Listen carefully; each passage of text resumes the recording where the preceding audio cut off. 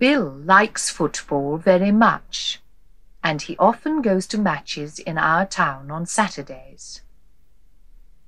He doesn't go to the best seats because they are very expensive and he does not see his friends there. There was a big football match in our town last Saturday. First it was very cold and cloudy, but then the sun shone and it was very hot. There were a lot of people on benches round Bill at the match. Bill was on one bench and there was a fat man on a bench behind him.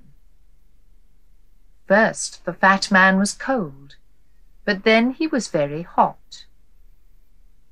He took his coat off and put it in front of him, but it fell on Bill's head.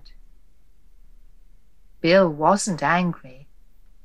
He took the coat off his head, looked at it, and then smiled and said, Thank you. But where are the trousers?